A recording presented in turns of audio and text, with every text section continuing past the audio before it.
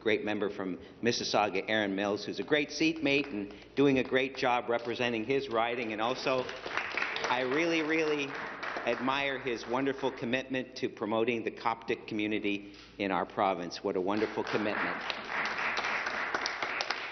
We're excited about this budget in Essex County because of the healthcare investments it makes, and I want to know what is this budget going to do for his riding and, and his people in Mississauga, Erin Mills?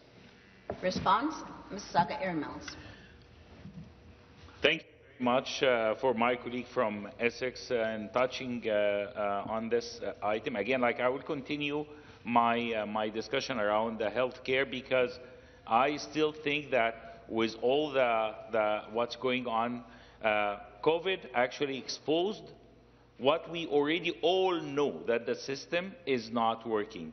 And we have to get something out of the box. We need to work on bringing more new ideas, using technology, expanding in, uh, in different type of services where we can offer the service wi without having to jeopardize uh, our, uh, our uh, uh, patients' numbers and, and, and uh, load, current and coming. So again, like I, I would like to thank you in, in Mississauga. We have Response? the big hospital is coming, the biggest hospital. We are looking forward for that because hospital doesn't only come with patients, uh, it comes with emergency, it comes with making more uh, doctors and more specialized doctors and training students as well.